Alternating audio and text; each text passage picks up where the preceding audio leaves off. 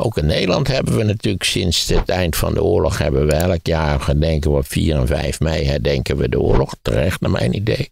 En de slachtoffers van die oorlog en het verdwijnen van de Duitse bezetters. En we hebben altijd gezegd, wat we nooit meer moeten doen is discriminatie en uitsluiting. En bij de eerst denkbare gelegenheid dat we daar de gelegenheid toe krijgen, gaan, gaat een deel van Nederland graag over tot discriminatie en uitsluiting. Door op de PVV te stemmen bedoel je? Ja. Ja, ze hebben nou die idiote wet ingetrokken, maar in feite ging het daarbij om de criminalisering van, van moslims. Hmm. Dus ja, dan denk je toch. Nou, ja, je, wordt, je bent daar toch eigenlijk betrekkelijk hopeloos. Ik bedoel, ik, ben, ik vind dat. Ik ben er hopeloos over gestemd. Jij stipte de AFD Deugen aan. de meeste mensen. Ja, Rutger, ik weet het. Je hebt, de- je hebt de beste bedoelingen.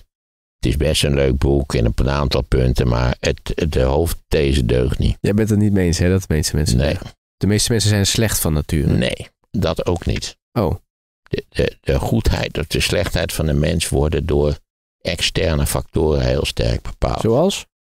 Nou, Of een, of een overheid zegt van jongens, weet je wat, we hebben er lang over nagedacht, maar we gaan het even goed organiseren. U bent zelf toch ook ervoor dat dit kan zo niet, we gaan er iets aan doen. Hè? De Joden beheersen de pers, de Joden bezitten de grote warenhuizen. Ik heb het even over de Weimarrepubliek. Dat moet aangepakt worden. Ja, en dan denkt zo'n bevolking, ja, dan. eh, kijk, je, je, je vindt altijd meelopers, dus ja. eh, eh, goed en kwaad zijn heel sterk situationeel bepaald. Is de mens goed van nature? Nee. Is de mens slecht van nature? Ook niet. De mens is een kuddedier. Dus als, als de leiders van de kudde niet waar maar hard genoeg balken of tetteren of weet ik precies wat, de, wat het voor dieren zijn. Potvissen kan eventueel ook. Ik zag een prachtige documentaire over potvissen. Die zijn nog eens sociaal, zegt die potvissen. Je ziet alleen bij dat zwemmen voortdurend bonken ze tegen elkaar. En zijn ze elkaar aan het besnuffelen. En soms zijn ze met hele grote eh, soort, van, soort van politieke congressen van potvissen. Kennelijk dat ze met zo'n honderden bij elkaar zwemmen. Maar goed, eh, ja, wij zijn een kuddedier. En dat betekent dat we reageren als een kuddedier. Dus als, als de, de leiding van de kudde besluit dat we gaan naar links. Of we gaan door deze gevaarlijke rivier, al zit die vol met krokodillen. We moeten, we moeten er doorheen. Moeten de krokodillen uitgeroeid worden? Nou ja, eigenlijk. Nou, Hoe heb jij gekeken naar Duitsland? Want je stipte de AFD aan en daar is die AFD toch wel in opkomst. En daar zijn ook grote zorgen over. ja, de opkomst, dat weet ik niet. Op ups en downs, naar mijn idee. Het is natuurlijk de regering van dit moment is enorm zwak. Eh, dat speelt een rol. Een krakkemikkige coalitie. Waar het niet goed mee gaat. Scholz is in feite onzichtbaar. Het is ook een hele ongelukkige afwisseling met, met, met Merkel, die natuurlijk een soort, soort geboren sympathieke leider was, zou ik maar zeggen. Gewoon, maar toch, eh, maar toch de baas. Eh, en het gaat natuurlijk ook economisch op dit moment heel matig met Duitsland. Dus tel dat allemaal bij elkaar op. En ik denk dat dat wel een deel is van het succes van de AFD. En de AFD is natuurlijk, ja, de AFD is het, is het, is het ongelukkige monster wat de DDR gebaard heeft. Kijk, de DDR dreef op, de, op het sprookje dat het, het fascistische Duitsland, of de erfgenaam van het fascistische Duitsland, was de Bondsrepubliek. En zij waren het antifascistische Duitsland. Dus dat, dat is, daar nooit, is daar nooit doorgedrongen. Met, en, en nu wat baart de DDR achteraf, die is allemaal natuurlijk ongelooflijk ironisch, namelijk toch een vorm van nieuw fascisme. Dat kun je toch wel zeggen. Het zijn hele enge lui hoor, die AFD'ers. Ja. Maar een, land dat zo eh, voorzichtig is met het verleden en daar ook eh, zo voorzichtig mee omgaat, is het wel opmerkelijk dat dit dan nu gebeurt ook bij een deel van de Nee, bevolking. want dat is een ander land. Het waren twee landen. Eerst had je de BRD, dat is een lijn van voorzichtig en oh jee, de oorlog. In het westen dus. Ja, en de DDR was een ander land. Hmm. En dat andere land, dat is wat het, niet waar, dat heeft het monster gebaard. Ja. De AFD was oorspronkelijk een partij die gericht was tegen de euro. Maar die is, is omgeturnd door dat, nou ja, door dat enorme ressentiment wat in de voormalige DDR leefde. Dus het verbaast je eigenlijk niet dat die anekdote verteld dat we daar met ons cameraploegje in Berlijn stonden om de plattenbouw te bestuderen.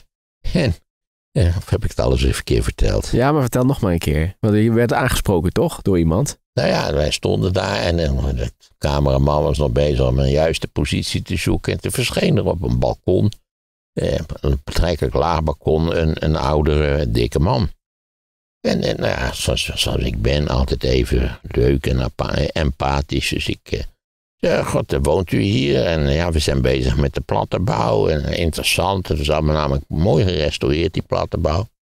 En die man zegt, die explodeert toch flikker op jullie godvergeten klootzakken.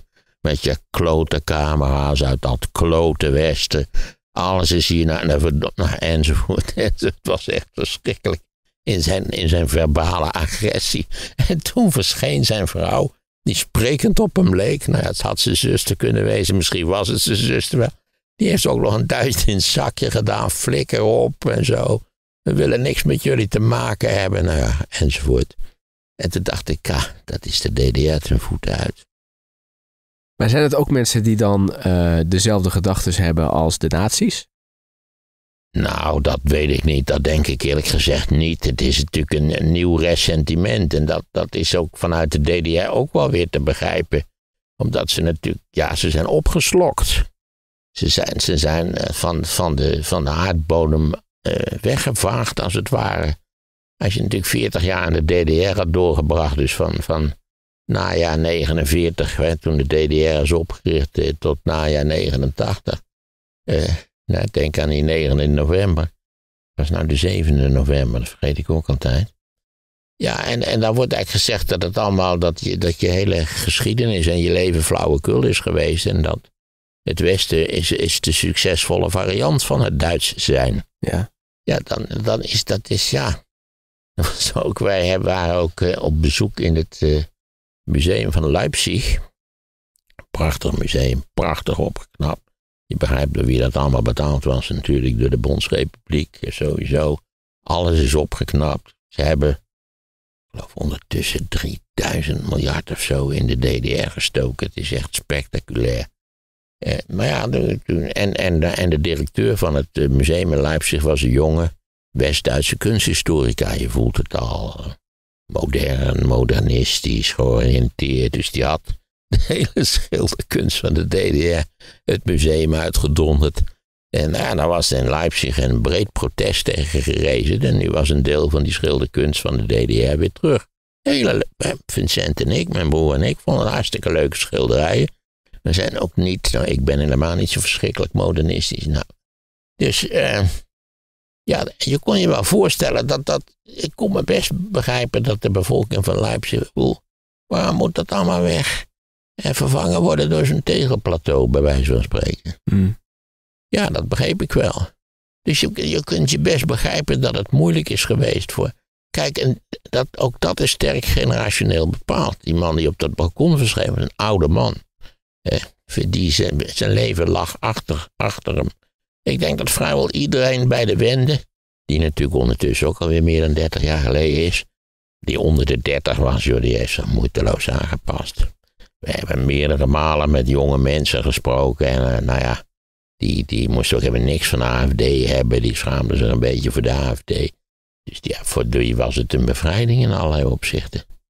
Net zoals voor ons. Nou nee, het is toch iets totaal anders. Nou ja, nee, ik wou zeggen, net als voor ons de jaren zestig een bevrijding waren. Die nu in een kwade reuk zijn komen te staan. En wie had nou toch kunnen denken dat die benepen eh, jaren vijftig, dat dat nog een soort van nostalgisch nationalisme zou kunnen opwekken. Hm. Ja, dus dat, dat is de DDR. Nogmaals, als je denkt wat gek. En dan vind je altijd wel in de BRD ook wel. Maar als je dus naar de cijfers kijkt, zie je hoe het enthousiasme voor, voor de AFD. Dat was bij de laatste, dacht ik, nationale verkiezingen. Was de minst, de kleinste AFD-stem was notabene in Münster. Eh, dus dat is helemaal in het westen van West-Duitsland. Maar jij vindt ze niet gevaarlijk? Ja, zeker wel. Dat wel. Ja, zeker. Het is een klote partij met klote ideeën. Dus ja, Maar wat maakt ze gevaarlijk dan? nou, stel voor dat ze, dat ze nog meer politieke macht krijgen. Nog... Kijk, het, het, het- een deel van het, het populisme is ook besmettelijk. Het zijn, ja, het zijn simpele oplossingen. Waarom doen we dat nou niet? Dat gezeur. Haagse spelletjes, meneer. Allemaal op. Nou ja, dit werk. Hè? Ja. Ja, Wilders. Jij bent nu ook bezig met wilde, met Haagse spelletjes. Hè? Wat vind je ervan eigenlijk? Voelt het een beetje lekker aan, de Haagse spelletjes? Hè? En straks worden ze ook verweten, de Haagse spelletjes. Nou ja, goed. Eh. Had je nog gezien trouwens dat die boeren, die hebben ook, eh, ze hadden zo'n overzichtje gemaakt dat niet alleen in Nederland die boeren zich roeren, maar in vrijwel elk Europees land. Ja, zeker. En, en, ik denk wel dat we ze geleerd hebben wat de ongekende mogelijkheden van die trekkers zijn. Ja, maar die zie je overal terug. Ja, ik, ik, heb spijt dat ik, ik was toch van plan om een bedrijfje te beginnen. Ja. Voor trekkerverhuur voor protesterenden. Ja, voor Extinction Rebellion ook wel een idee. Ja, joh, fantastisch. En die kun je dan, ze zijn dan groen. En dan kun je die gele stukjes, die kun je dan oververven met groen. En, en je, je, moet, eh, iedereen mag eh, vanaf zijn zestiende op een trekker rijden, als ik het heb begrepen. Dus eh, helemaal geen problemen. Ja, dat, nou hoor. Ik denk dat, dat, dat Nederland vervloekt wordt op dit punt. Maar ik ben wel benieuwd hoe Europa hiermee omgaat richting de verkiezingen in juni. want die Europese... Ja, je begrijpt dat dat slecht af gaat lopen. Daar ben ik vast van overtuigd. Maar wat voorzie je dan? Nou ja, dat populistische partijen geweldig zullen scoren. volgens mij zijn er nu helemaal geen. Of is er één PVV in het Europarlement? Dat weet ik niet precies. Maar... Nou, die zijn natuurlijk weer verenigd in zo'n collectief, hè? Ja. Dus ja, we zullen zien wat dat op gaat leveren. En, en ja, die, die boeren voelen zich natuurlijk overal benadeeld. Ja, maar die, de Europa wil een andere kant op dan die boeren. En die boeren willen, zegt Europa dan, zich niet aanpassen. Die willen niet mee. Die willen blijven doen wat ze altijd al deden. Nou, altijd is een groot woord in dit verband. Omdat die, eh, die, die rationalisering en, en die streven naar grotere efficiëntie en, en grootschalige productie, dat heeft natuurlijk de landbouw, in ieder geval in Nederland, grondig veranderd. Je kunt onze huidige landbouw, dat is helemaal geen landbouw. Zegt mijn broer ook altijd, je zit niet te lullen over die landbouw, het is industrie. Ja. toevallig een industrie die leeft van gras, maar het is een industrie. Ja. En dat is natuurlijk zo. Het is een industrie geworden.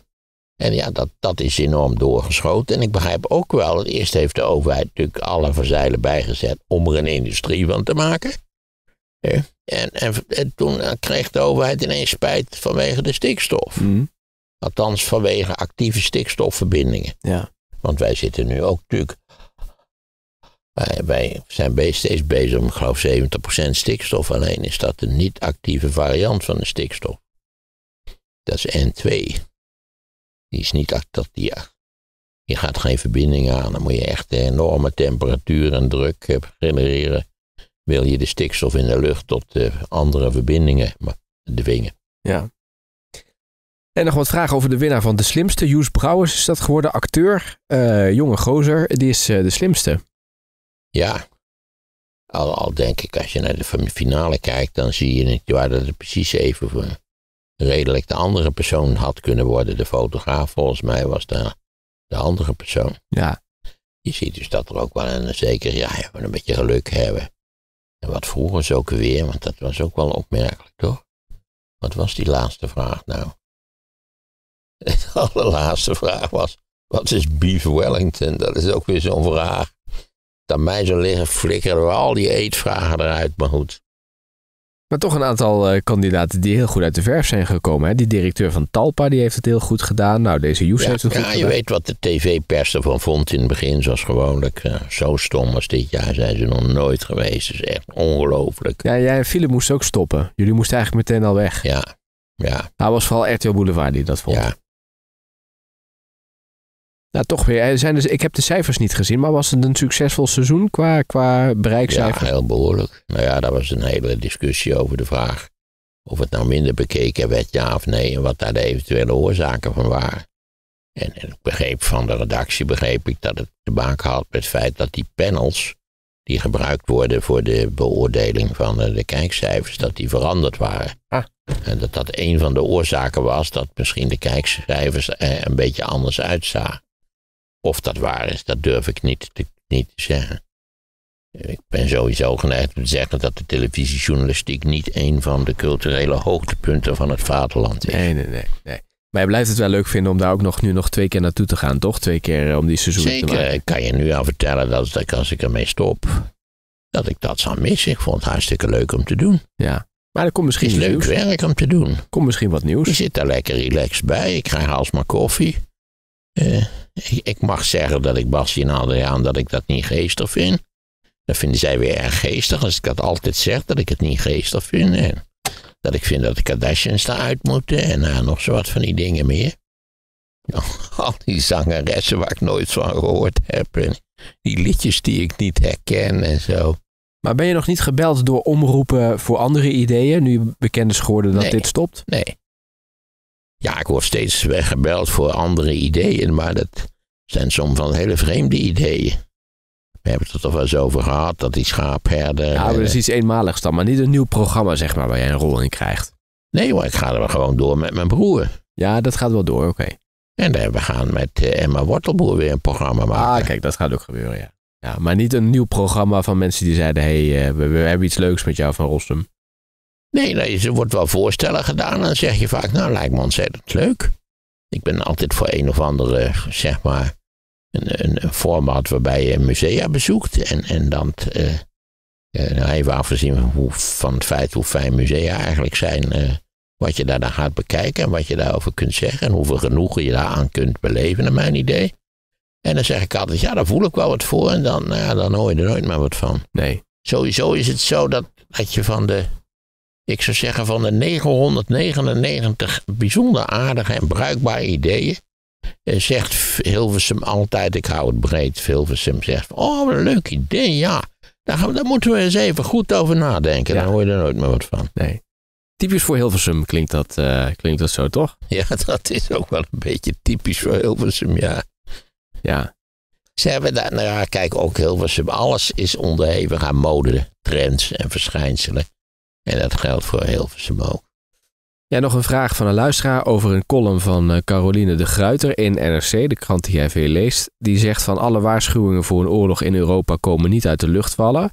Eh, dat is dan natuurlijk toch nog interessant om die vraag even te bespreken in het kader met wat jij eerder al zei van hé, hey, dat is allemaal toch een beetje bangmakerij. Ja, ik denk dat het bangmakerij is met een doel. Namelijk dat Europa eh, zich beter moet voorbereiden op de mogelijkheid van militair conflict.